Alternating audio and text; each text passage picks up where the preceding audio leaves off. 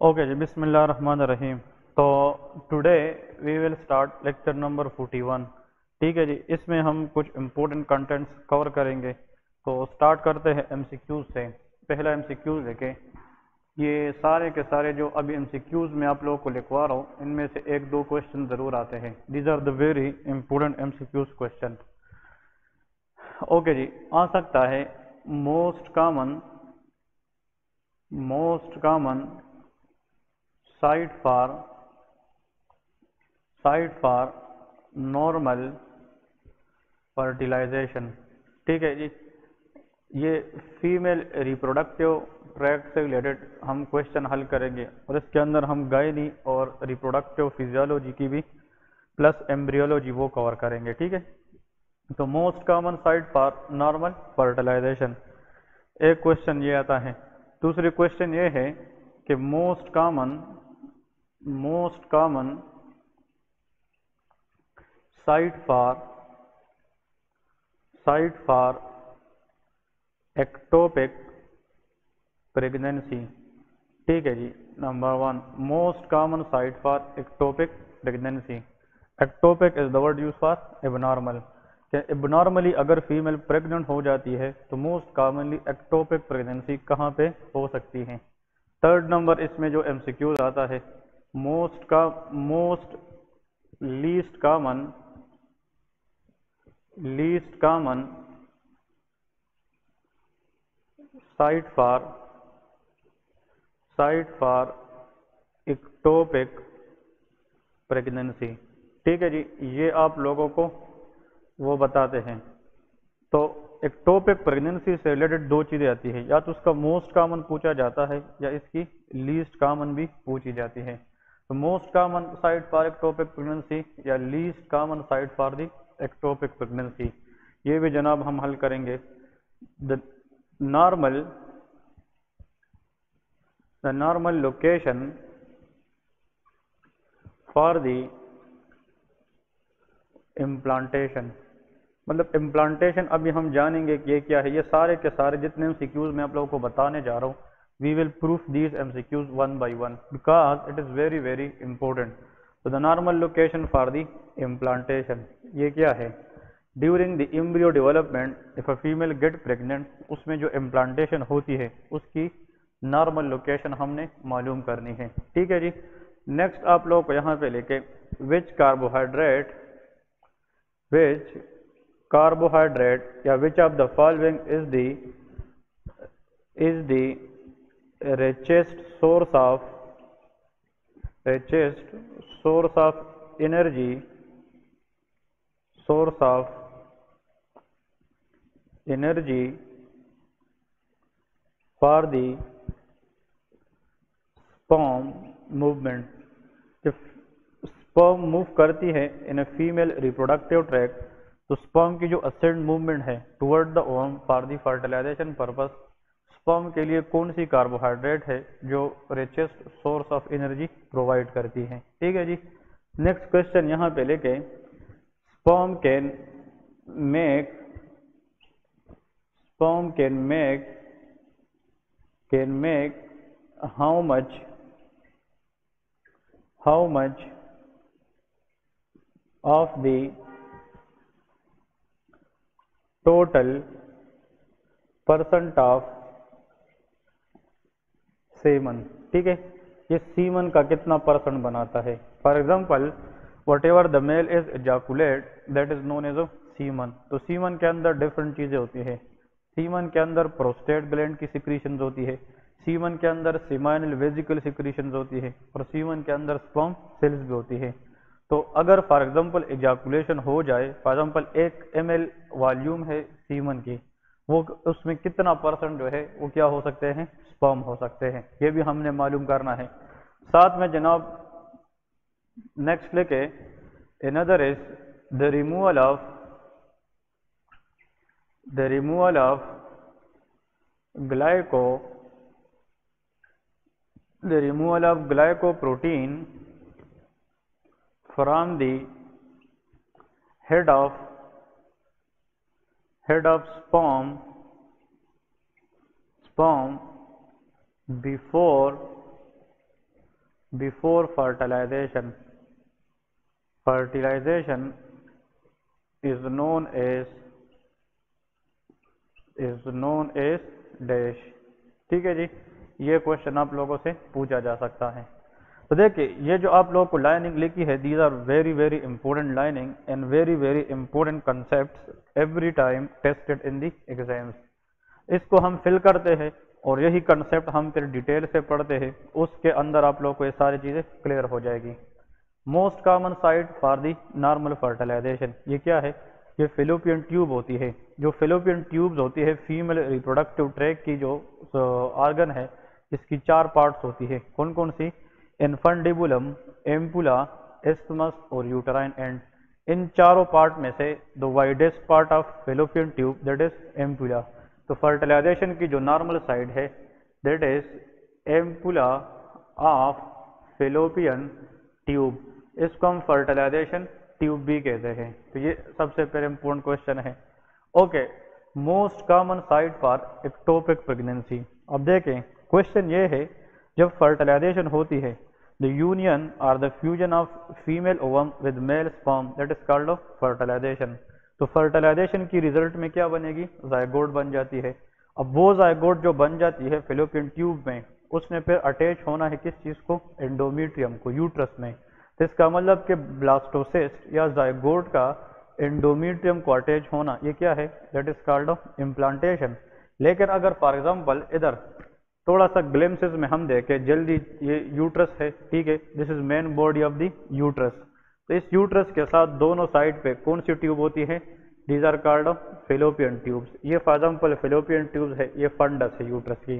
तो अगर यहाँ पे जायगोड बन जाए zygote this zygote undergo some cell division इसके अंदर मल्टीप्लीकेशन होती है. मतलब ये है कि सेल दो से चार बन जाती है, चार से आठ बन जाती है, आठ से सोलह बन जाती है.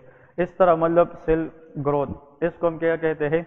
Repeated division of the cell in zygote that is called of cleavage इसको हम क्लीवेज कहते हैं. तो इसका मतलब जब ये जायगोट मल्टीपल क्लीवेज के ज़रिए ये किस स्ट्रक्चर में तब्दील हो जाए? ब्लास्टोसिस्ट में. ये भी हम पढ़ेंगे what is blastocyst what is the function of blastocyst blastocyst के अपने एमसीक्यूज है, वो भी हम कवर करेंगे एम्ब्रियोलॉजी से. तो ब्लास्टोसिस्ट फिर आकर इनर पार्ट ऑफ़ या inner layer of the uterus इसको हम क्या कहते हैं? एंडोमीट्रियम इसको अटैच होता है।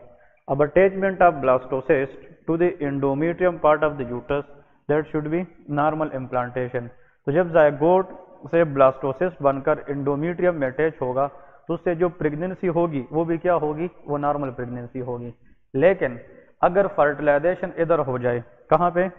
फिलोपियन ट्यूब में, और ब्लास्टोसिस्ट भी यहाँ पे बने, और यहाँ पे इम्प्लांट भी हो जाए तो उससे जो प्रेगनेंसी है, वो क्या होगी? Ectopic most common site for fertilization normally fallopian tube है, लेकिन इम्प्लांटेशन को कहाँ पे होना है? एंडोमीट्रियम लेकिन अगर फर्टिलाइजेशन के बाद इम्प्लांटेशन बी फिलोपियन ट्यूब में हो जाए that will be considered as ectopic pregnancy तो most common site for ectopic pregnancy that is still answer is fallopian tube इसको हम ट्यूबल प्रेगनेंसी भी कहते हैं. ठीक है? ये आजकल एफ़ ग्रुप में बहुत सर्कुलेट होता जा रहा है, ये थर्ड नंबर कि भाई फिलोपियन ट्यूब में तो ज़्यादातर क्या होता है? एक्टोपिक प्रेगनेंसी हो सकती है। लेकिन लो एक्टोपिक प्रेगनेंसी के अंदर तीन सिम्टम्स याद रखे फीमेल में। Number one amenorrhoea first trimester के अंदर वेजानल स्पॉटिंग होगी। लोअर एब्डोमिनल पेन होती है और बीटा एच ज़्यादा होती है, लेकिन it is low than the required beta H इस तरह नॉर्मल प्रेगनेंसी में बीटा एच को बढ़ना चाहिए, उससे थोड़ा सा हमें कम मिलती है। एक्टोपिक प्रेगनेंसी कहाँ पे ज़्यादा कॉमन है? फेलोपियन ट्यूब लेकिन least common site for ectopic pregnancy answer is ovaries ये हमसे क्यूज आता है? ओवरीज इसको हम कहते हैं एक्स्ट्रा ट्यूबल प्रेगनेंसी ट्यूब के बाहर ओवरीज के अंदर बी एक्टोपिक प्रेगनेंसी के चांसेस होती है but it is very very least common इसका आंसर कौन बता सकता है? What is the normal location for implantation implantation की normal location attachment of blastocyst to the endometrium लेकिन यहाँ पे जो पॉइंट याद रखना है एंडोमीट्रियम तो एक पूरा लेयर है। ये इसका अपर पार्ट है, ये इसका मिडल पार्ट है और ये इसका लोअर पार्ट तो this blastocyst normally has to be attach to the upper part of endometrium which is near toward the fundus of the uterus तो यहाँ पे लेके upper part of endometrium upper part of endometrium अगर for example ये blastocyst endometrium को attach हो जाए, लेकिन वो लोअर पार्ट में अटैच हो जाए तो उससे जो प्लेसेंटा बनेगी, वो नॉर्मल होगी कि अब नॉर्मल उसको प्लेसेंटा प्रीविया कहते हैं। तो प्लेसेंटा प्रीविया का मतलब यह है implantation still in occur in the uterus but it is specially in the lower part of the uterus ठीक है? Which carbohydrate is the richest source of energy for the sperm movement answer is fructose इसके अंदर आता है fructose fructose और ये भी अगर आ जाए कि फ्रुक्टोस कहाँ से आता है? It is a component of seminal vesicle secretion ये सेमिनल वेजिकल सिक्रीशन की कंपोनेंट है। फिर आता है जनाब sperm can make how much of the total percent of the semen मैंने आप लोगों को बताया था whatever the male ejaculated it content different secretion इसमें प्रोस्टेट सिक्रीशन होती है, इसमें सेमिनल वेजिकल की सिक्रीशन होती है और इसमें स्पर्म सेल्स होती है। तो जितना एजाकुलेशन होता है, उसका फॉर एग्ज़ाम्पल 10 परसेंट ये स्पर्म बनाता है। कितना परसेंट 10 परसेंट मतलब ये है कि 100 एम में से 10 एम या 10 एम में से 1 एम सीवन का क्या होता है? ये स्पर्म होती है। लेकिन रिमेनिंग 90 परसेंट ये अदर चीज़ें prostate secretion and seminal vesicle secretion the glycoprotein removal from the head of sperm cell before fertilization जब स्पर्म सेल जाती है, वो फर्टिलाइज होना चाहती है विद द ओवम तो इस पॉम के हेड के ऊपर एक ग्लाइको प्रोटीन लेयर होता है। जब तक उसको वो वॉश आउट ना करे, जब तक वो खत्म ना करे तो वो ओम के साथ पेनेट्रेट नहीं हो सकती। Removal of glyco protein from the sperm head specially to make it easier to meet with the ovum for the process of fertilization this step is called capacitation capacitation ये भी अभी हम पढ़ेंगे कि what is meant by capacitation तो ये सारे के सारे जो एम सी क्यूज आप लोगों को बताए हैं इनशाला one of the two MCQs question at least will be from here in the exam तो इसको आप लोगों ने बार बार रिपीट करना है। ये बहुत बहुत इंपॉर्टेंट है। इसकी बेस पे अभी हम फीमेल रिप्रोडक्टिव सिस्टम की कुछ normal physiology versus their embryology वो पढ़ेंगे। और इसके साथ मेल रिप्रोडक्टिव सिस्टम की जो रिक्वायर्ड नॉलेज है, वो भी हम थोड़ा सा यहाँ पे डिस्कस करेंगे। ठीक है? तो ये मैंने आप लोगों को बेस बनाया कि ये पॉइंट्स तो हर एक को क्लियर होने चाहिए। अब क्विकली उसको एक नज़र देखते भी है कि ये सारा प्रोसेस किस तरह होता है। देखें for example if we take if this is uterus it is called fetal womb इसको हम फीटल वोम भी कहते हैं। दिस इज़ यूटरस यूटरस याद रखे दिस इज़ यूटरस ये फॉर एग्ज़ाम्पल यूटरस है। यूटरस के बाद this is called birth canal ये बर्थ केनाल है। ठीक है? This the birth canal which is called of vagina इसको विजाइना कहते हैं। This is the uterus first part which is called cervix so first part of the uterus which is near to the vagina that is known as a cervix इसको हम cervix कहते हैं। ये भी बहुत इंपॉर्टेंट हम पढ़ेंगे। इसके अंदर कैंसर होता है। Virus responsible for cervical cancer is H P V human papilloma virus so human papilloma virus ये ज़रूर याद रखे। ये साइड पे इधर पे लेके अगर for example human papilloma virus इसकी कौन सी स्ट्रेन आ गई? 16 या 18 इट इज़ अनकोजिनिक अनकोजिनिक से मुराद क्या है? It can cause cervical cancer लेकिन अगर इस सर्विक्स में इन्फेक्शन ह्यूमन पेपिलोमा वायरस 6 या 11 ने कराया it is non oncogenic it is known it can cause warts ये वार्ड्स कराती है। डर्माटोलॉजी में वार्ड्स को हम वेरुके कहते हैं। तो 611 strain of HPV can cause warts, but 1618 strain of HPV can cause cervical cancer. Cervical cancer is most commonly what? Seen in young female. और सर्वाइकल कैंसर की जो हिस्ट्री है वो किसके साथ आती है? पोस्ट क्वाइटल ब्लीड के साथ आती है। फॉर एग्ज़ाम्पल अगर सेक्सुअल इंटरकोर्स करती है कपल उसके बाद पोस्ट क्वाइटल ब्लीड की हिस्ट्री हो। वो कहते हैं कि cervical cancer until proven otherwise और सबसे इम्पोर्टेंट बात जो सीपीएससी मिस ही नहीं करती, वो ये है, यहाँ पे इस सर्वाइकल कैंसर को अर्ली डिटेक्ट करने के लिए इसके लिए स्क्रीनिंग टेस्ट कराई जाती है। The screening test for cervical cancer to detect in early stages that is pap smear test ठीक है? इसको हम पेप्समेयर कहते हैं। तो ये अपने पास सारे नोट करते जाए, क्योंकि हमने तैयारी करानी है एग्ज़ाम की तो हमने जो भी सामने आ जाए इम्पोर्टेंट चीज़ वो हमने मिस नहीं करनी। तो H P V for me very important इसकी स्ट्रेन याद रखनी है it is oncogenic if the strain is 16 and 18 अगर 6 से 11 है, ये वार्ड कराती है नॉन ऑनकोजिनिक है। स्क्रीनिंग टेस्ट इसका है पेप्समेयर और एक एग्ज़ाम में ये भी आता है कि पेप्समेयर क्यों कराया जाता है? Because it is cost effective cheap and easily available ये कॉस्ट इफ़ेक्टिव है, ये भी इसके एमसीक्यूज में आता है that is pap smear test okay अब आते हैं अपनी टॉपिक प्रॉपर की तरफ़। तो देखे दिस इज़ यूटरस यूटरस के साथ जनाब, इस तरह हमारे पास क्या होते हैं? फिलोपियन ट्यूब्स होते हैं। This is fallopian tube fallopian tube की आखिर में इस तरह हमारे पास क्या होती है? Finger like projection they are called of fimbriae इसको फिम्ब्रिए कहते हैं। इस तरह भी फिलोपियन ट्यूब होता है। और इसके साथ भी जनाब, ऐसा ही इस तरह for example finger like projection होती है which is called of fimbriae देखिए, ऊपर यहाँ पे जो पार्ट है this part of the uterus ये मैं सिर्फ़ डायग्राम में आप लोगों को समझाने लगा हूँ। This part of the uterus is called of fundus इसको हम डोम शेप पार्ट कहते हैं। तो ये जनाब हमारे पास फंडिस है। इसको हम बॉडी ऑफ़ द यूट्रस कहते हैं। बॉडी को हम कार्पस भी कहते हैं। It is also known as corpus corpus of the uterus या बॉडी ऑफ़ द यूट्रस और आखिर में क्या है? सर्विक्स है। ठीक है? ये जो एरिया है दैट इज़ कॉल्ड बर्थ के नाल आर विजयना अब इस चीज़ को जहन में रखते हुए हम अपनी कंसेप्ट को आगे लेके जाएँगे। ठीक है? ओके चले हम ऐसा करते हैं कि यहाँ से देखें, इसके साथ एक लेगामेंट होते, सुन ले। यूट्रस के अपर पार्ट के साथ इस तरह एक लेगामेंट हमारे पास अटैच होता है लेगामेंट और उस लेगामेंट के साथ कौन सी चीज़ सस्पेंड होती है? Ovaries these are called ovaries ये ओवरीज है। इसका मतलब ये है कि ovaries are attach to the uterine ligament ठीक है? ये हम आगे भी पढ़ेंगे। और इस ओवरीज के अंदर क्या होते हैं? मल्टीपल फोलिकल्स होते हैं।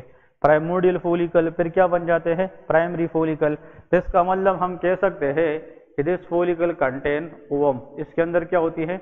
ओवम होती है। ऐसा है ना? It contain ovum okay ji.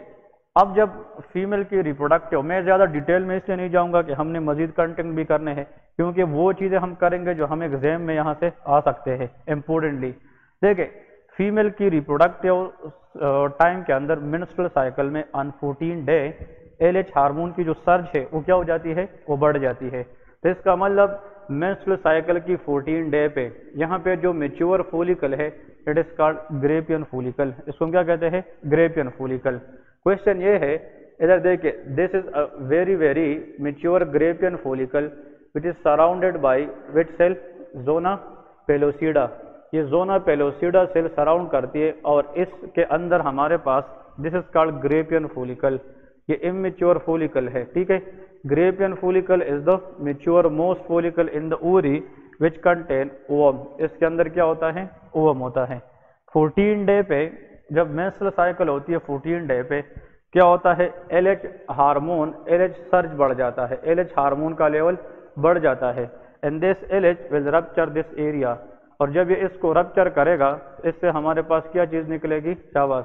There will be ovum अब जो ओवम रिलीज़ हो गई the process is called ovulation इसको हम ओविलेशन कहते हैं। ओविलेशन हो जाएगी ओविलेशन और जो ग्रेपियन फोलिकल है, ये ओविलेशन के बाद, सुन ले ओविलेशन के बाद this Graafian follicle will be remaining like this ये वही ग्रेपियन फोलिकल है, लेकिन अब ओविलेशन के बाद इसके अंदर ओवम नहीं रही। तो ऐसा ग्रेपियन फोलिकल जिसमें ओवम ना हो तो इसको हम ओविलेशन के बाद क्या नाम देंगे? It is called of corpus luteum इसको हम कार्पस ल्यूटियम कहते हैं। So corpus luteum is a structure which is come from the Graafian follicle specially after the ovulation clear है? Okay.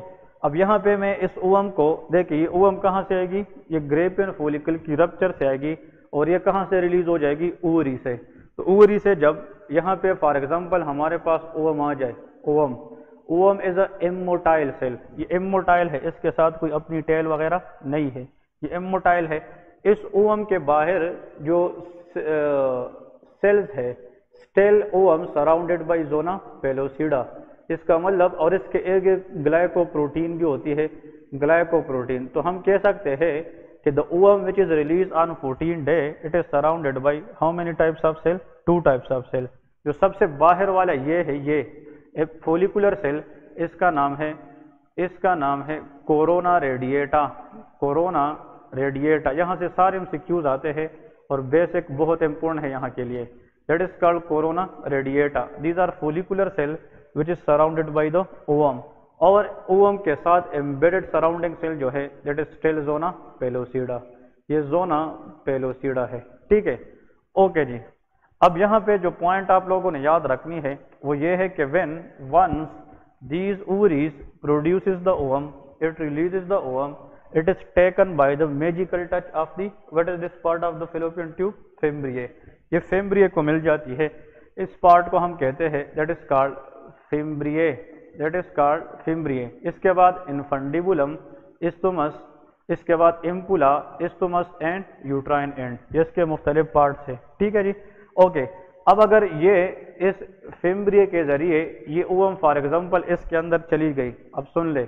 This ovum is taken by this fallopian tube अब ये fallopian tube में आ गई और इसके इर्द गिर्द हमारे पास still there is zona pellucida still it is surrounded by what corona radiata अब मुझे ये बताए कि इसको हमने नॉर्मली फर्टिलाइजेशन के लिए फेलोपियन ट्यूब के किस पार्ट में लेके आनी है? एम्पुला में।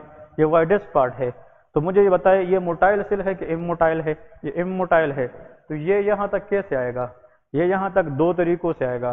Fallopian tube has repeated peristalsis movement इसके अंदर रिपीटेड कंट्रेक्शन एंड रिलैक्सेशन होती है।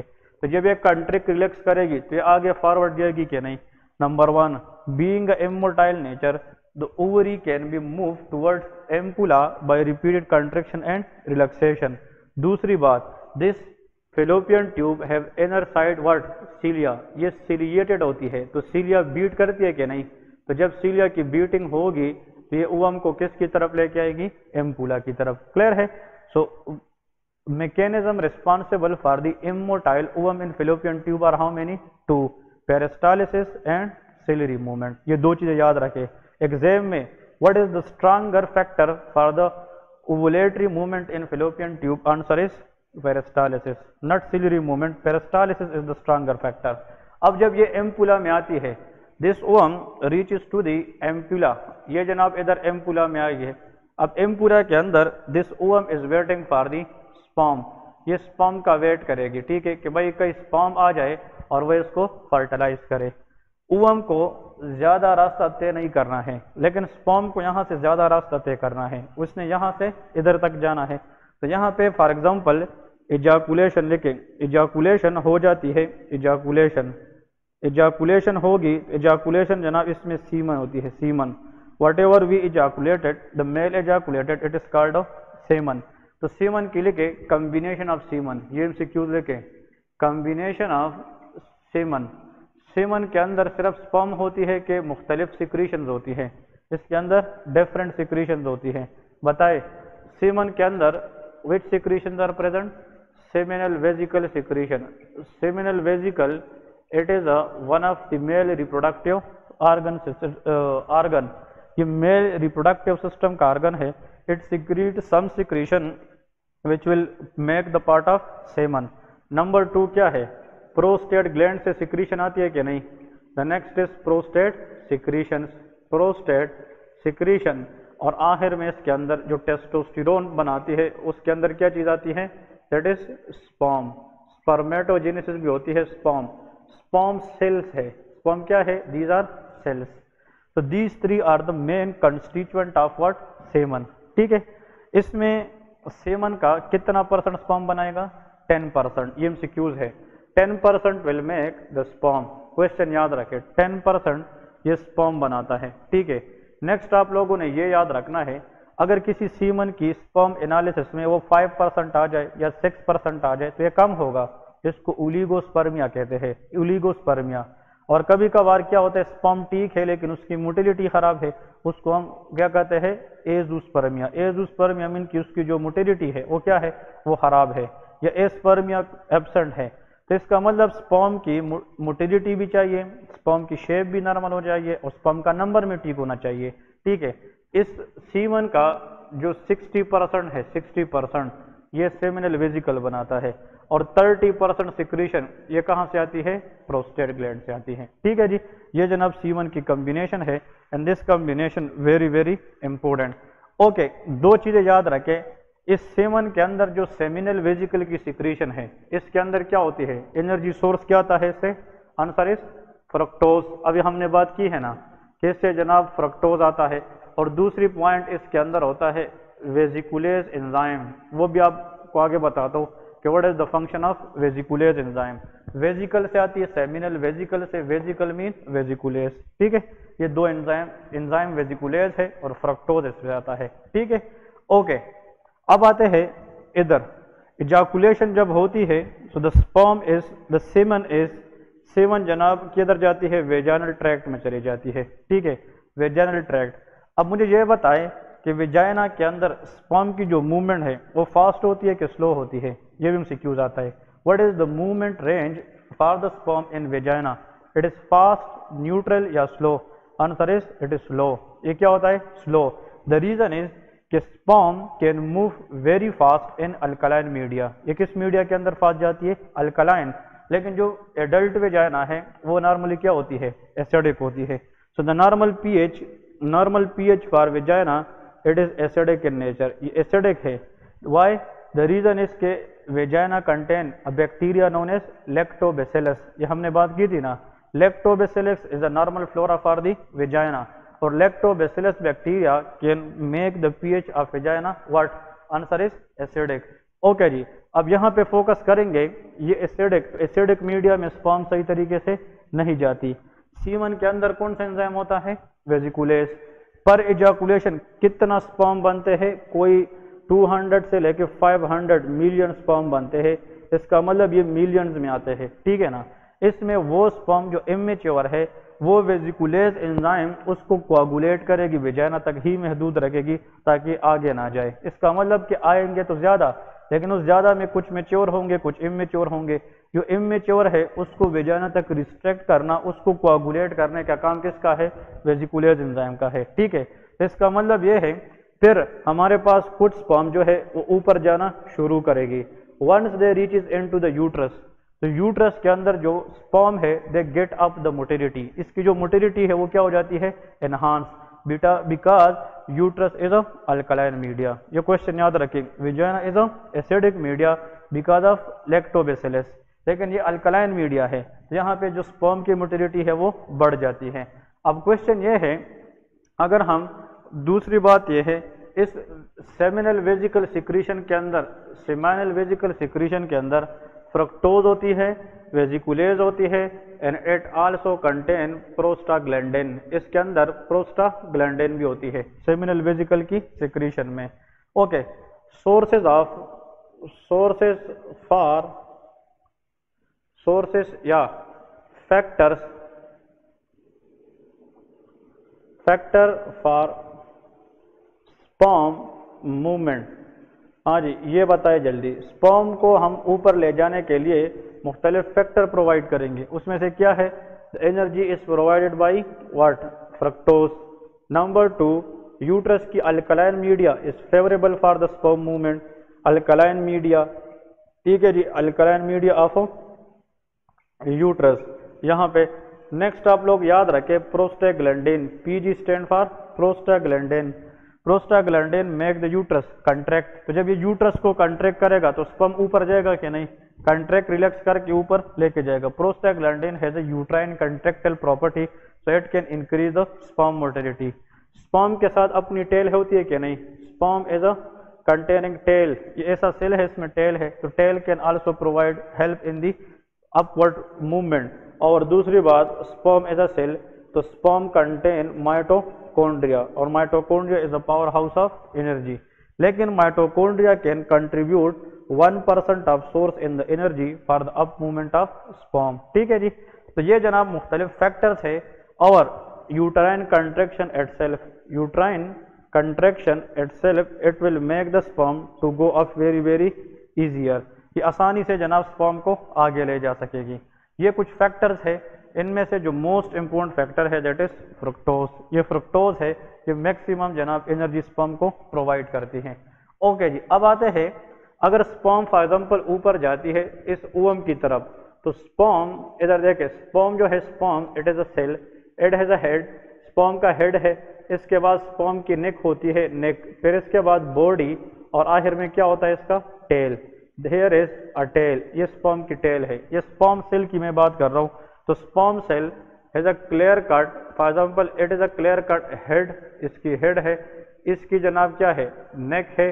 नेक इसके बाद बॉडी ऑफ़ द स्पॉम और आखिर में टेल ऑफ़ द स्पॉम ये चार पार्ट्स इसके याद रखने अब क्वेश्चन ये है स्पॉम सेल के ऊपर यहाँ पे एक मेम्ब्रेन होता है। सुन ले। स्पॉम तो खुद सेल है ना। स्पॉम इज़ अ सेल लेकिन स्पॉम जो इसका ये क्या है, ये ये हेड का क्या है, मेम्ब्रेन है। ये तो सेल का अपना मेम्ब्रेन है ना, इसको सेल मेम्ब्रेन कहते हैं। लेकिन स्पॉम का जो हेड है, इसकी सेल मेम्ब्रेन के ऊपर एक एडेड मेम्ब्रेन होता है, दूसरा मेम्ब्रेन। जो इस हेड को प्रोटेक्ट किया होता है, इस मेम्ब्रेन को हम एक्रोसोमल मेम्ब्रेन कहते हैं। It is called acrosomal membrane very very important one it is called acrosomal membrane तो acrosomal membrane is a membrane which surrounded what answer is head part of the sperm दूसरी बात यहाँ पे लेके what is this इस acrosomal membrane के बाद यहाँ पे इस तरह कलेक्शन ऑफ़ क्या होते हैं? ग्लाइकोप्रोटीन ये ग्लाइकोप्रोटीन की कलेक्शन है। तो भाई ये आप लोग को एग्ज़ाम में जनाब बहुत हेल्प देगी इन सॉल्विंग एमसीक्यूज क्वेश्चन ये छोटी छोटी चीज़ें हैं जो लोगों से गलत हो जाती है। तो देखे मैं उनको, उस कंसेप्ट को यहाँ पे थोड़ा सा कोरिलेट करने की कोशिश करूँगा। देखे हमने यहाँ तक पढ़ लिया कि जो स्पॉम है, ये जब असिड मूवमेंट करेगी, इधर देखिए, यहाँ तक तो ज़्यादा आएगी। लेकिन यहाँ पे अगर for example one two three four ये सारे स्पॉम चाहती है कि हम किसके साथ मीट करें? ओवम के साथ। तो इन स्पॉम को यहाँ पे रोकता है कौन सी चीज़? यहाँ पे ये जो इसका आउटर मोस्ट लेयर है, उसका नाम क्या है? Corona radiata corona radiata has a negative effect on the movement of sperm initially ये इनको जब रोकेगी ना तो फिर इस कोरोना रेडिएटा से chemoattractant mediator chemotactic mediator release होती है। कीमो टेक केमिकल मतलब ये कुछ केमिकल रिलीज़ करती है इट इज़ कॉल्ड कीमोटेक्टेक और वो उस केमिकल जाकर उस केम, उस केमिकल जाकर इनमें से जो मेच्योर स्पॉम है उसको किसकी तरफ़ अट्रैक्ट करेगी? ओवम की तरफ़ अट्रैक्ट करेगी। तो फिलोपियन ट्यूब की फ़र्स्ट एंड से toward the ovum attraction capability of the sperm is enhance by the corona radiata ये इसका मेन काम है। और कोरोना रेडिएटा जब अपने आप से कीमोटेक्टिक केमिकल रिलीज़ करेगी तो ये भी आहिस्ता आहिस्ता क्या होती जाएगी? वो खत्म होती जाएगी। क्लियर है? अब यहाँ पे इसको थोड़ा सा एनहांस करके आखिर की जो एमसीक्यूज है, उसको सुन ले। फॉर एग्ज़ाम्पल ये जनाब इस तरह का हेड है, ठीक है दिस इज़ कार्ड नेक फिर फॉर एग्ज़ाम्पल बॉडी और इस तरह ये क्या है this is tail for example ये स्पॉम है दिस इज़ स्पॉम ये इसका हेड पार्ट है। अब स्पॉम का जो हेड है, इसके इर्द गिर्द कौन सा मेम्ब्रेन होता है? हाँ जी this is called acrosomal membrane acrosomal membrane के इर्द गिर्द क्या होता है? ग्लाइको प्रोटीन ये ग्लाइको प्रोटीन है। ग्लाइको प्रोटीन, क्लियर है? अब ये जब आ जाता है, किसका पास? ओवम के पास। ये जब ओवम के साथ नज़दीक आ जाता है, फिलोपियन ट्यूब में दिस इज़ ओवम तो ओवम के इर्द गिर्द हमारे पास क्या होता है? There is surrounded by zona pellucida ये जोना पेलोसीडा लेयर है। और इससे जो कोरोना रेडिएटा है, वो के म्यूटेक्टेक फैक्टर के रिलीज़ से आहिस्ता आहिस्ता क्या हो गई है? खत्म हो गई है।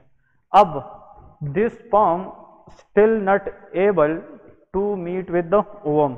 Unless this sperm has not remove this glycoprotein ये जो प्रोटीन है, ये स्पॉम को इसके साथ मीट करने से प्रिवेंट कर देती है। तो इसका मतलब कि ये जो ग्लाइको प्रोटीन है, इसको क्या करना चाहिए? रिमूव करना चाहिए हेड ऑफ़ द स्पॉम से। इसको वॉश आउट करना चाहिए। और ये वॉश कैसे होगा?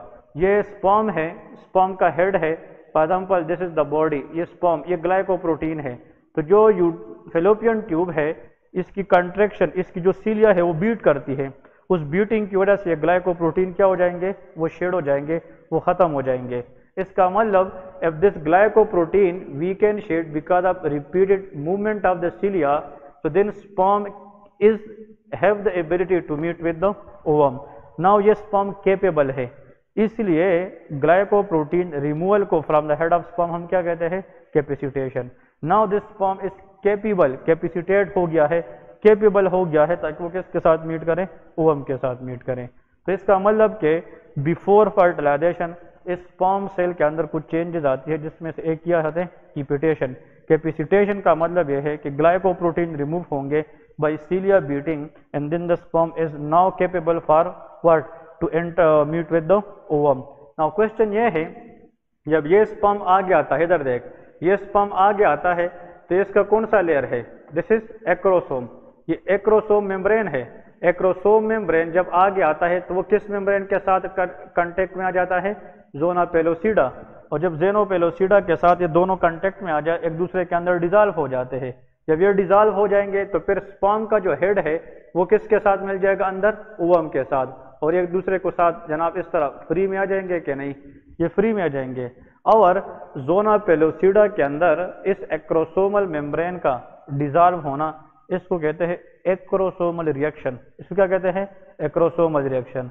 ग्लाइकोप्रोटीन का रिमूव होना कैपिसिटेशन है, लेकिन एक्रोसोम मेम्ब्रेन का किसके साथ? जोना पेलोसिडा के साथ टच होने क्या है? एक्रोसोमल रिएक्शन है। तो how many changes are there in the sperm before fertilisation दो। One is capacitation another is acrosomal reaction ये इंपोर्टेंट है। अब इस स्पर्म के अंदर सुन ले, हमारे पास 23 नंबर ऑफ़ क्रोमोसोम है, और इस ओवम के अंदर भी कितने क्रोमोसोम है? 23 तो sperm is a haploid cell या diploid cell it is a haploid cell half number of chromosome है 23 और इसके अंदर भी कितने हैं? 23 ovum is a haploid number of chromosome. और अगर ये दोनों आपस में मीट कर गए male sperm with female ovum उससे रिजल्टेंट क्या बन जाएगी? जायगोड तो इसका 23 इसका 23 मिलकर क्या बन जाएगी? 46 ये हेप्लाइड है कि डिप्लाइड है? ये डिप्लाइड नंबर ऑफ़ सेल है। क्लियर है? So male sperm is a haploid cell female ovum is a haploid cell but both can make together zygote which is known as a diploid cell clear है? अब ये fertilisation हो गई कहाँ पे? Ampulla में। अब ampulla is the widest part of the fallopian tube इसके अंदर जब फर्टिलाइजेशन होगी तो फिर फर्टिलाइजेशन के बाद इस जायगोड के अंदर क्या होगी? डिविजन होंगी। Division multiple division in the zygote that is process called cleavage इसके अंदर क्या हो जाएगी? क्लीवेज तो यहाँ पे याद रखे, दो सेल स्टेज से कितना सेल स्टेज बन जाएगा? हाँ जी four cell stage four cell से कितना बन जाएगा? एट सेल स्टेज और एट सेल से कितना बन जाएगा? सिक्सटीन सेल स्टेज ये हम सिक्यू सुन ले। सिक्सटीन सेल स्टेज जब एम्ब्रियो बनेगी कौन सी सेल स्टेज सिक्रीट तो एम सिक्यूज ये है कि जायगोड फॉर्मेशन के बाद रिपीटेड नंबर्स में चेंज में चेंजिंग आना, इसको क्या कहते हैं सबको? क्लीवेज और क्लीवेज अगर किस सेल स्टेज तक पहुँच जाए? 16 इस स्टेज में, इस स्ट्रक्चर को हम क्या कहते हैं? आंसर इज़ मोरूला इसको क्या कहते हैं? मोरूला कहते हैं. और मोरूला में फर्दर अगर क्या चीज़ आ जाए मल्टीप्लीकेशन आ जाए तो उससे morula will later convert into blastocyst इससे क्या बन जाएगी? ब्लास्टोसिस्ट बन जाएगी। बात क्लियर है कि नहीं? इससे ब्लास्टोसिस्ट अब आते हैं ब्लास्टोसिस्ट की एमसीक्यूज की तरफ़। ये क्लियर हुआ कि नहीं? अब ब्लास्टोसिस्ट की जो एमसीक्यूज है, उसकी तरफ़ जाएँगे कि एमसीक्यूज ये है how much cell stage division of the embryo called morula 16 cell stage ये 16 है। अब इसमें फॉर एग्जांपल ये है कि अगर फॉर एग्जांपल वहाँ पे जनाब ब्लास्टोसिस्ट बन गया ब्लास्टोसिस्ट इसके अंदर दो तरह के सेल है। सुन ले। For example this is a uterus अब एमसीक्यूज की तरफ़ जाएँगे specially for gynaecology and embryology purpose this is uterus uterus का जो इनर लेयर है दैट इज़ कॉल्ड एंडोमेट्रियम तो देखिए फिलोपियन ट्यूब के ज़रिए यूट्रस में अब ब्लास्टोसिस्ट है कि नहीं? ब्लास्टोसिस्ट का ये पार्ट सुन ले। This is the blastocyst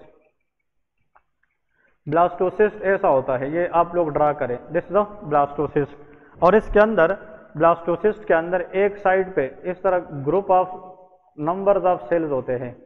इस नंबर्स ऑफ़ सेल को हम क्या कहते हैं? इनर सेल मास इसको हम क्या कहेंगे? इनर सेल मास अब सुन ले।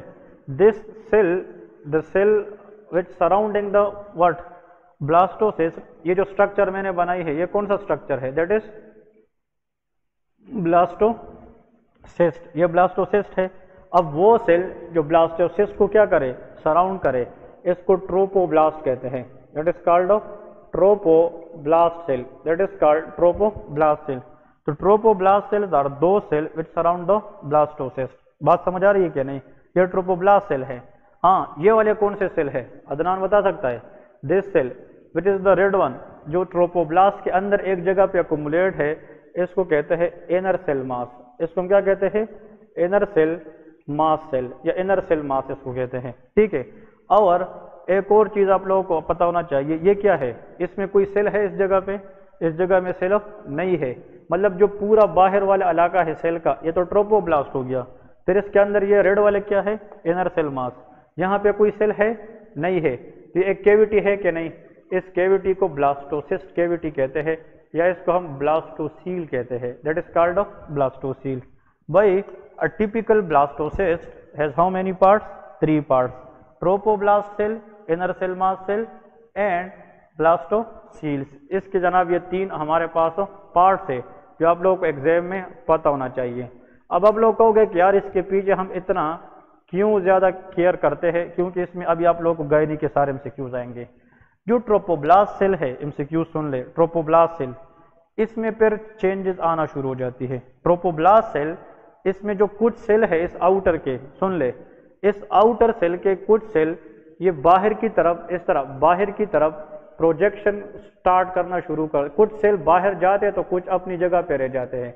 कुछ सेल बाहर की तरफ़ प्रोजेक्ट हो जाते हैं तो कुछ अपनी जगह पे। कुछ सेल बाहर की तरफ़ जाते हैं तो कुछ अपनी जगह पे। देखे इन सेल्स के दरमियान ये गैप्स मैंने छोड़े हैं तो ट्रोपोब्लास्ट लेयर जो है, उसकी सेल्स में फिर चेंजेस आ जाती है।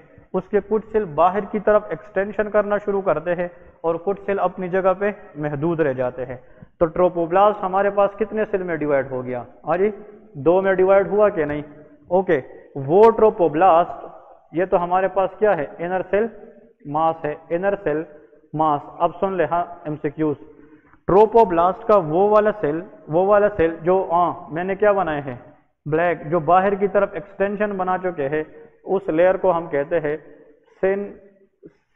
ट्रोपोब्लास्ट इसको हम कहते हैं ट्रोपोब्लास्ट इसके बहुत से एमसीक्यूज आते हैं ट्रोपोब्लास्ट और वो ट्रोपोब्लास्ट सेल जो बिल्कुल अपनी जगह पे ही रहे हैं इसको हम क्या कहते हैं?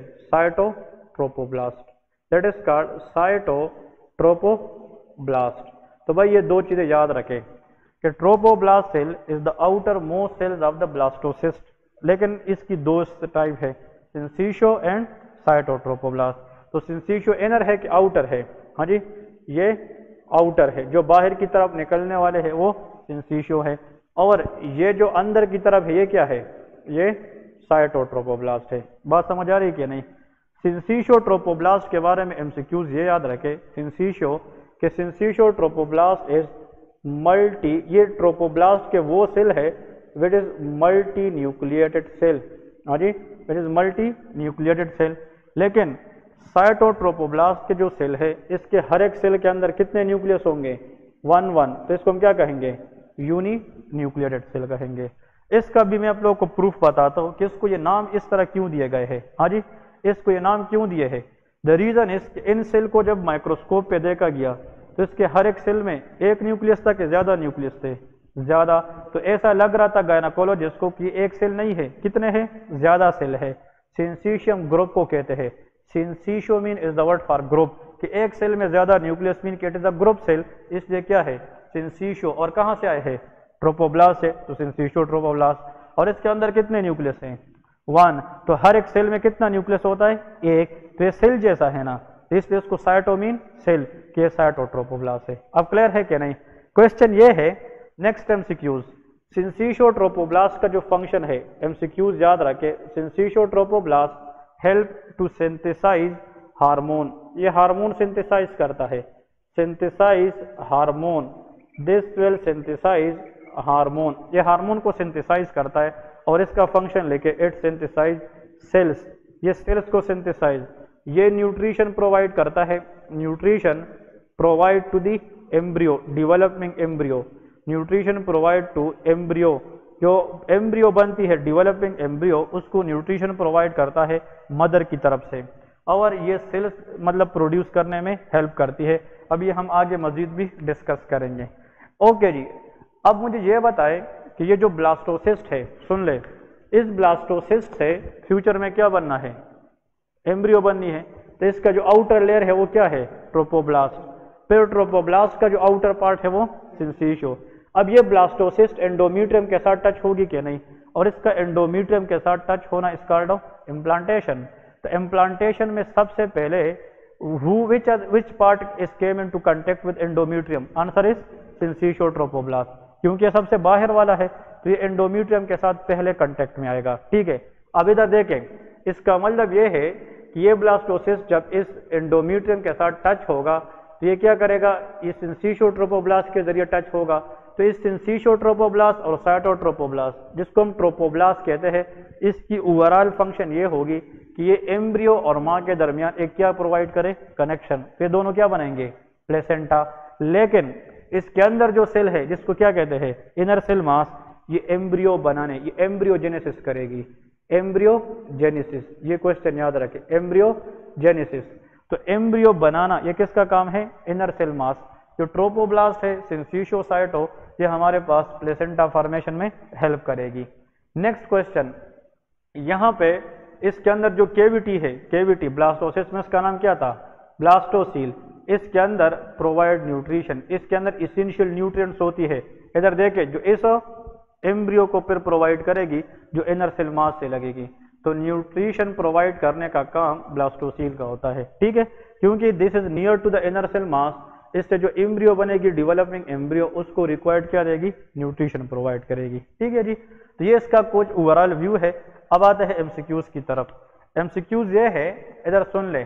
मैं जल्दी जल्दी बताने लगा हूँ। अगर फॉर एग्ज़ाम्पल ये यूट्रस का कौन सा वाला लेयर है? हाँ जी एंडोमीट्रियम है। तो आउटर लेयर होता है कि इनर लेयर होता है? हाँ जी inner layer and what is the sub layers of endometrium कौन बता सकता है? एंडोमीट्रियम इसकी जनाब फिर मजीद कितनी लेयर होती है? Endometrium is the inner layer of the uterus but further this endometrium has two parts या two layer one is called functional layer of endometrium जो मेंस्ट्रुअल साइकिल के अंदर क्या होती है, वो शेड हो जाती है। होती है कि नहीं? Every month in a female, if she is not pregnant after ovulation, each month which layer of endometrium shed? Functional layer. तो इसके अंदर number one is functional layer हाँ जी number two is basal layer basal layer कभी भी हमारे पास shadow नहीं होती। Clear है? बेजल लेयर कभी भी शेडो नहीं होती। फंक्शनल लेयर शेड हो जाती है। क्लियर है? ओके तो अब मुझे ये बताएँ कि अगर ये एंडोमीट्रियम है, सुन ले दिस इज़ एंडोमीट्रियम ये इनर लेयर में बना चुका हूँ एंडोमीट्रियम यूट्रस का। तो इसके कितने लेयर है सब दो लेयर है। अब देखिए इसको मैंने दो में डिवाइड किया। इसका ये वाला जो हाफ़ है, ये आउटर है और ये इनर है।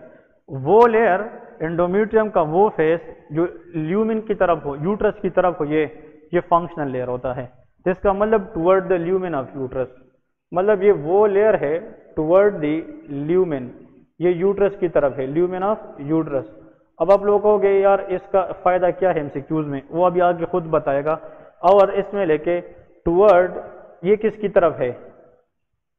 टुवर्ड दी हाँ ये जो आउटर बेजल लेयर है ये तो यहाँ पे तो एंडोमीट्रियम खत्म होगा। तो इसके बाद मिडल लेयर इज़ मायोमीट्रियम तो टुवर्ड दी मायोमीट्रियल लेयर ये मायोमीट्रियम की मतलब मायोमीट्रियम की तरफ़ है। विच लेयर बेजल लेयर अब क्वेश्चन ये है कि which layer to which layer of endometrium the blastocyst will be attach answer is functional layer ये हमसे क्यों आता है?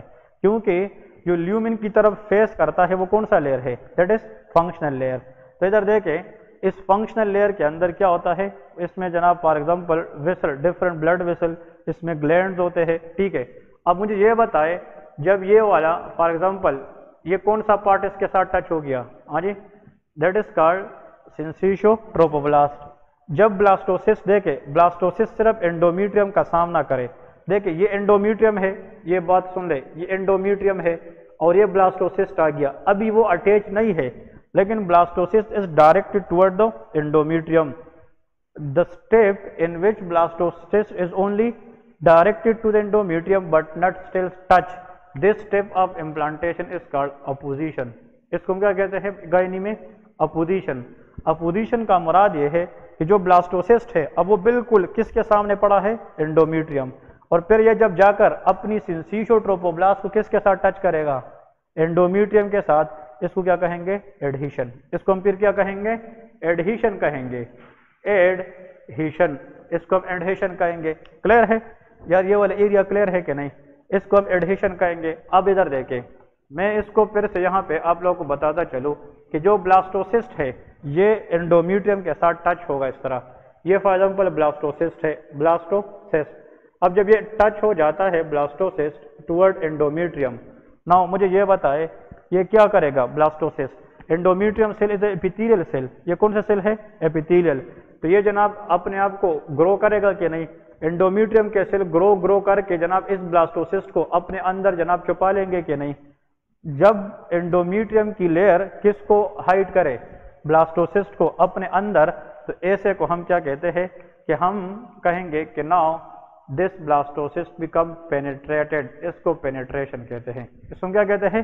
पेनेट्रेशन तो इम्प्लांटेशन में अपोजिशन होगी, फिर एडहिशन होगी, और साथ में क्या होगी? पेनेट्रेशन होगी।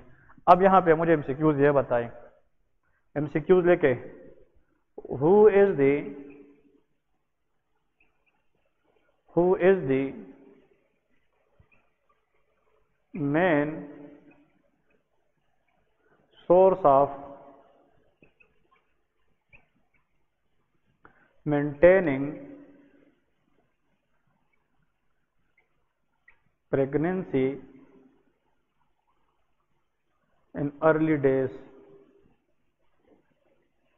early days specially first week की बात कर रहे हैं। ठीक है। एमसीक्यूज अब ये यहाँ से आप लोगों को पता चलेगी गैनी में। Number two the source of beta H C G beta H C G stand for human chorionic gonadotropin in the first few days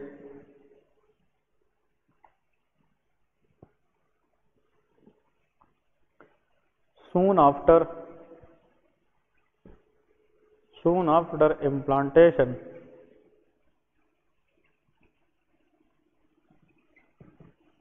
is dash वो क्या है the source of beta hcg in the first few days soon after implantation. वो क्या है? ये दोनों MCQs भाई किसी से भी पूछ ले they will tell you wrong concept हाँ जी, इसका क्या बनता है? What is the source of beta H CG अब यहाँ पे लोग क्या लिखते हैं? प्लेसेंटा यहाँ पे लोग प्लेसेंटा प्लेसेंटा अगर source of beta H CG है बट फ़र्स्ट फ्यू डेज़ के अंदर प्लेसेंटा स्टिल एस्टेब्लिश हो, नहीं है। अभी सिर्फ़ जायगोट ने किसके साथ इम्प्लांटेशन की है? एंडोमीट्रियम जायगोट ये जो ब्लास्टोसिस्ट है, इसका कौन सा लेयर है जो एंडोमीट्रियम को अटैच होता है?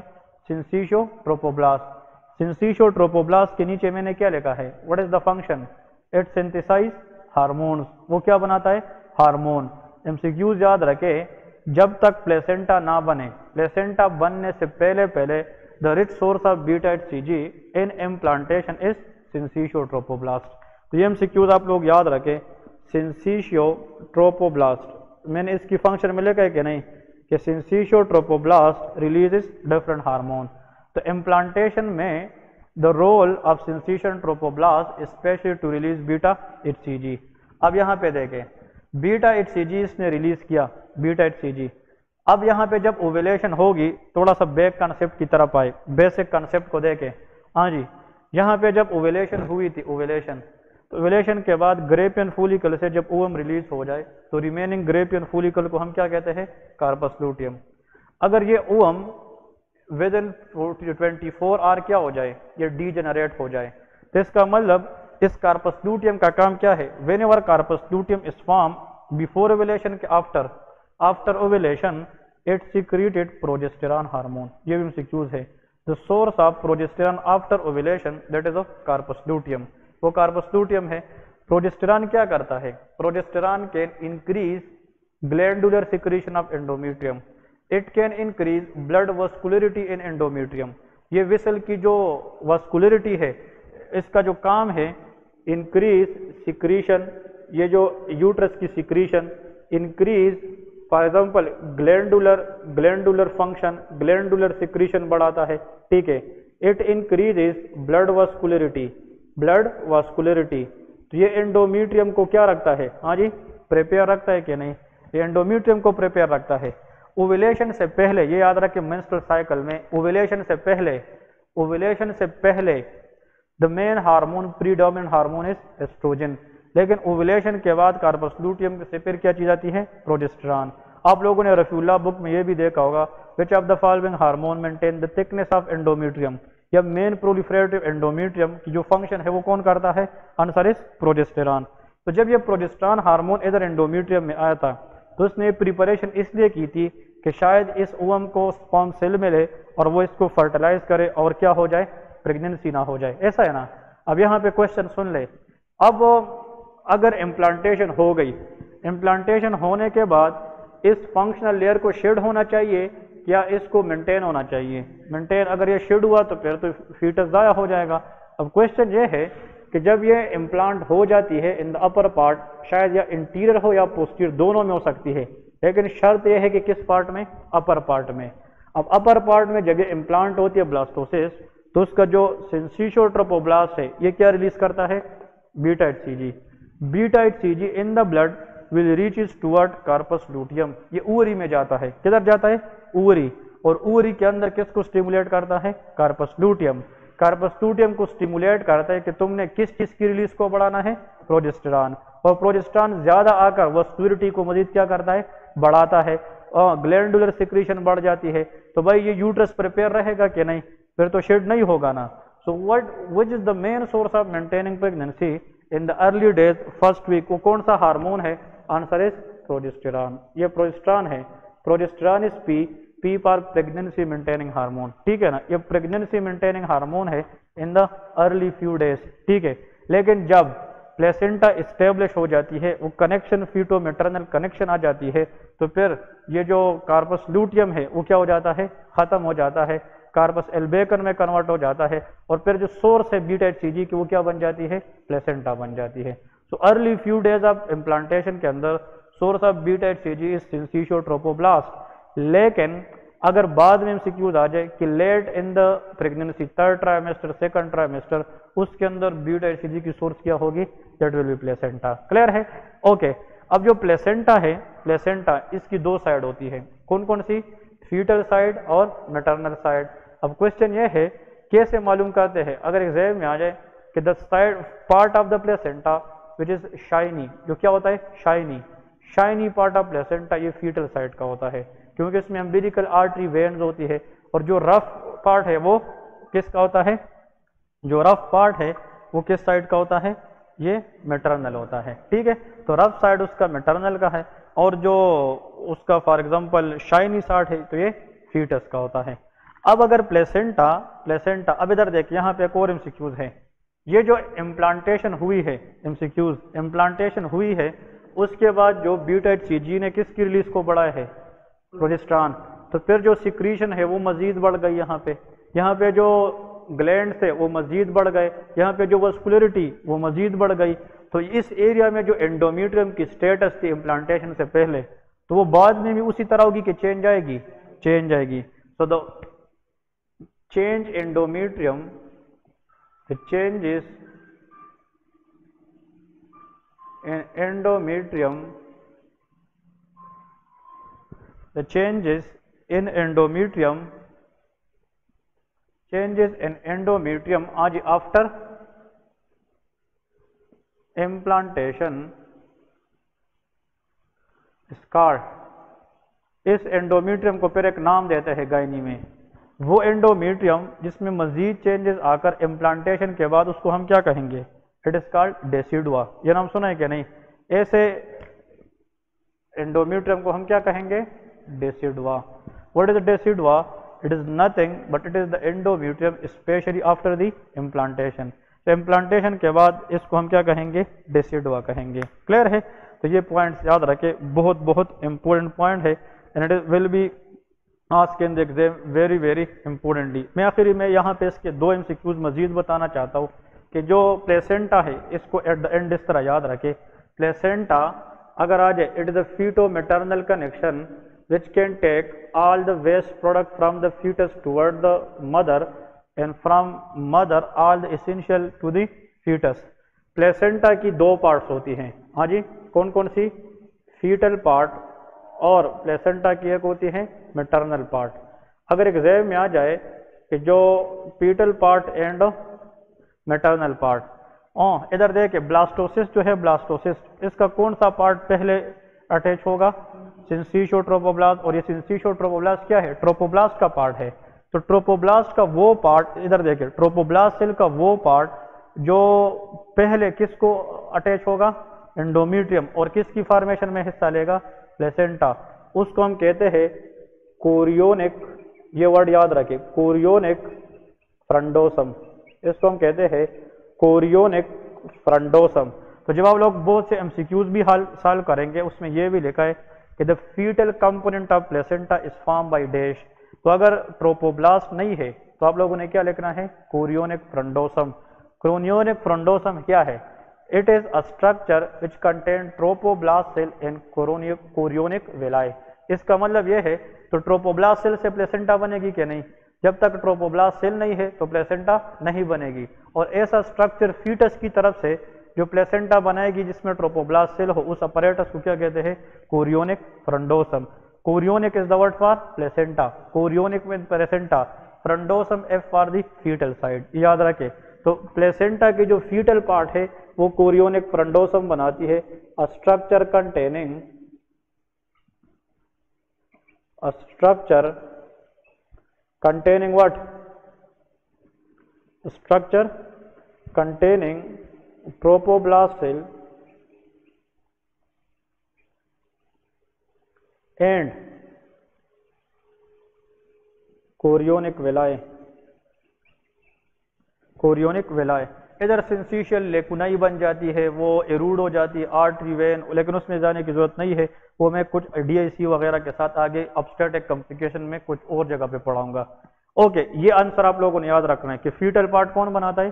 कोरियोनिक फ्रंडोसम अगर आ जाए कि प्लेसेंटा का मेटर्नल पार्ट कौन बनाता है? तो ब्लास्टोसिस बनाएगा कि एंडोमीट्रियम बनाएगा?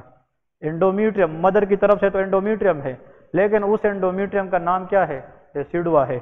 क्योंकि इसमें तो अभी प्रेगनेंसी होनी है तो इसका पूरा नाम है decidua basalis decidua basalis so decidua basalis decidua basalis it is the maternal part of the placenta the foetal part of placenta that is chorionic frondosum but maternal part of the placenta that is decidua basalis ठीक है जी, ये इसके main main MCQs question थे। Okay अब next यहाँ पे इसके साथ एक और मजीद हम इम्पोर्टेंट एमसीक्यूज हल कर, ये क्लियर है कि नहीं?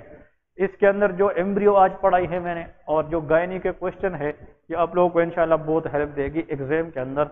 इसको याद रख थोड़े से एरियाज़ हार्ड है, लेकिन इस पर प्रैक्टिस करें। जब आप लोग एमसीक्यूज हल करेंगे it will help you a lot ठीक है? ओके नेक्स्ट लिखे clinical case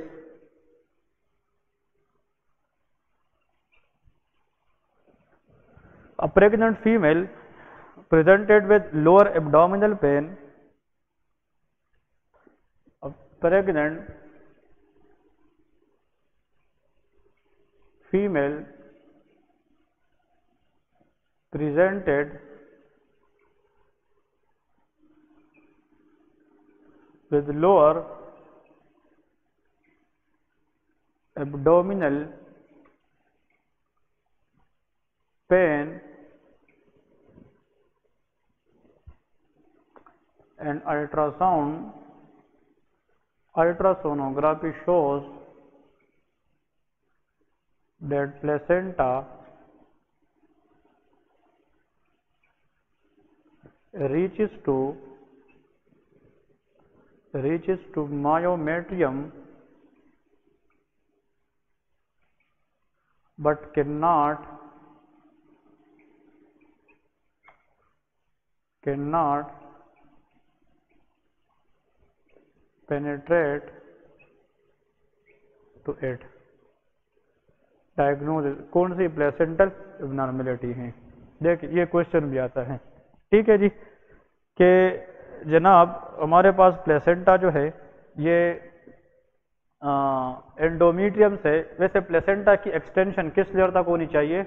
एंडोमीट्रियम मतलब functional layer of the endometrium तक। अगर ये एंडोमीट्रियम से बाहर जाकर मायोमीट्रियम को टच करे तो एबनॉर्मल है ना?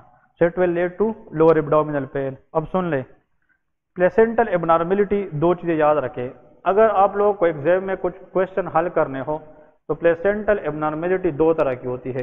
हाँ जी, कोई बता सकता है? एबनॉर्मल एबनॉर्मल प्लेसेंटल लोकेशन हो सकती है क्या? नहीं। एंडोमीट्रियम में अगर इम्प्लांटेशन अपर पार्ट की बजाय कहीं और हो जाए तो प्लेसेंटा प्री बन सकता है क्या नहीं? इसका मतलब एबनॉर्मल लोकेशन की वजह से प्लेसेंटा एबनॉर्मल आ सकती है। दूसरी क्या है? एबनॉर्मल प्लेसेंटल एक्सटेंशन अगर एंडोम्यूट्रियम से वो एक्सटेंड करे कहाँ पे चला जाए? मायोमीट्रियम पे। फिर भी एबनॉर्मेलिटी है कि नहीं? एबनॉर्मेलिटी है। इसका मतलब ये है, और अगर for example abnormal placental separation इसमें क्या फ़र्क है? देख, ये सारे के सारे गायनाकोलॉजी की बेस है, ठीक है? या तो प्लेसेंटा यूट्रस में नॉर्मली इम्प्लांट होने की बजाय कहीं और पे इम्प्लांट हो गई है। मतलब upper part of the endometrium की बजाय कहाँ पे इम्प्लांट हो गई है? लोअर पार्ट में। तो ऐसे एबनॉर्मल प्लेसेंटा को हम क्या कहते थे प्लेसेंटा प्रीविया कहते थे दूसरी पार्ट क्या हो सकती है? या प्लेसेंटा जो एंडोमीट्रियम तक लिमिटेड थी नॉर्मली वो किधर चली गई है? मायोमीट्रियम या पेरीमेट्रियम तक चली गई है। एक्सटेंशन इश्यूज़ या प्लेसेंटा कब सेपरेट होता अगर नॉर्मल भी है अपर पार्ट में भी है, उस जगह तक भी लिमिटेड है। लेकिन प्लेसेंटा रिमूवल कब होती? है after the birth of baby जब बच्चे की पैदाइश होती है, उसके बाद प्लेसेंटा रिमूव अगर still baby is in the uterus but due to some obstetric problem placenta separate from what endometrium ये भी एक प्रॉब्लम है कि नहीं? उस प्लेसेंटल इब्नाबिलिटी का नाम क्या है? That is called abruptio placenta इसको क्या कहते हैं? इब्रबशियो प्लेसेंटा इसको प्लेसेंटल सेपरेशन प्रॉब्लम भी कहते हैं। अब इधर आ जाए। इसका मसला क्या है? किसमें है? लोकेशन का है एक्सटेंशन का है कि सेपरेशन का? ये एक्सटेंशन का मसला है।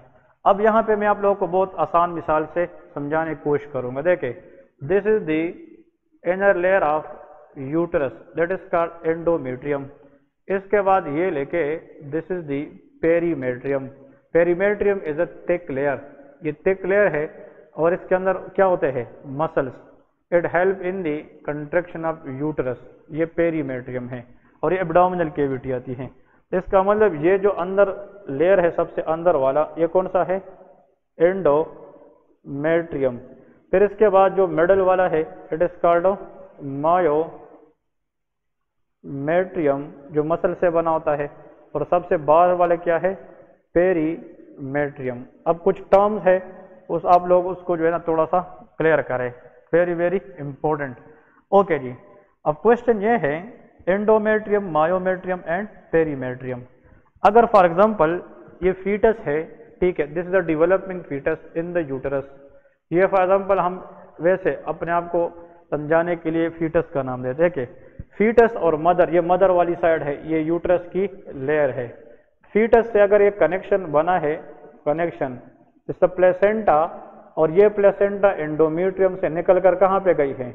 हाँ जी मायोमेट्रियम और ये प्लेसेंटा, इधर देखिए एंडोमीट्रियम को इन्वेट करके, ये इन्वेट करके एंडोमीट्रियम को कहाँ तक पहुँची है? मायोमीट्रियम लेकिन मायोमीट्रियम की सरफेस के साथ टच ज़रूर है, लेकिन मायोमीट्रियम में पेनेट्रेट नहीं कर गई है। ये ये वाला सिनेरियो है। आप लोग को वो बताएँगे एग्ज़ाम में।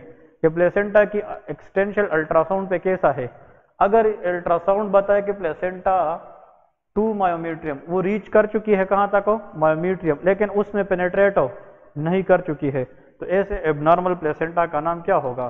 That is called placenta accreta इसको हम क्या कहते हैं?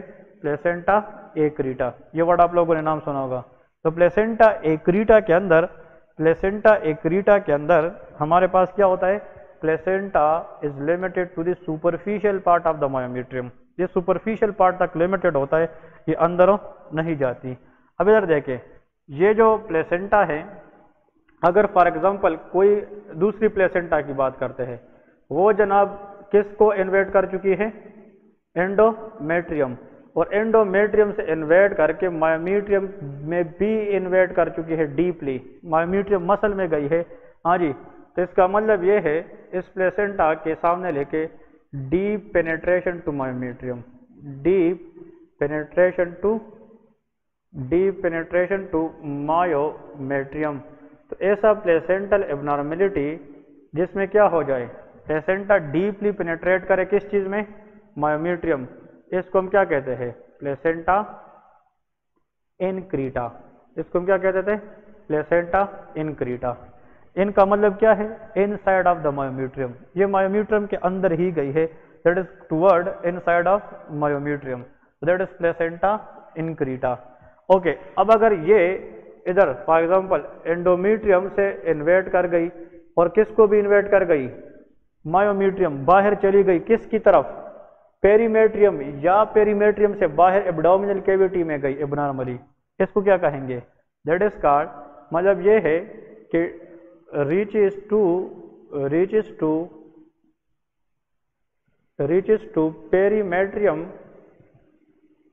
perimetrium or even outside of perimetrium to abdominal cavity ऐसे एबनॉर्मेलिटी को प्लेसेंटा का क्या कहते हैं?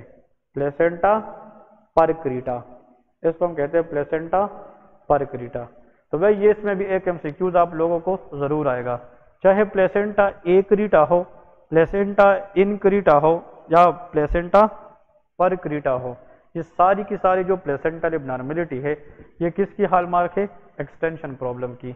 इसमें जनाब प्लेसेंटा की जो एक्सटेंशन है, वो जनाब बियॉन्ड द लिमिट ऑफ़ बढ़ गई है। इसकी एग्जैक्ट एटियोलॉजीज नहीं है, लेकिन इसके साथ कुछ रिस्क फैक्टर ज़रूर है। मल्टीपल जेस्टेशन मल्टीपल प्रेगनेंसीज अगर किसी की फीमेल या प्रेगनेंसी ज़्यादा की वजह से अगर फीमेल की एज भी ज़्यादा हो तो यूट्राइन जो वाल है, वो क्या हो जाती है? वो वीक हो जाती है। या सी सेक्शन की हिस्ट्री उसमें ज़्यादा हो स्मोकिंग की पेशेंट हो कोकेन यूज़ की पेशेंट हो, so they can lead to this. So depending upon the extension problem of placenta, we have different three types acrita increta and percreta ये जो परक्रीटा है परक्रीटा इसमें याद रखे इंक्रीज रिस्क ऑफ़ एडिशन ये क्या करा सकती है?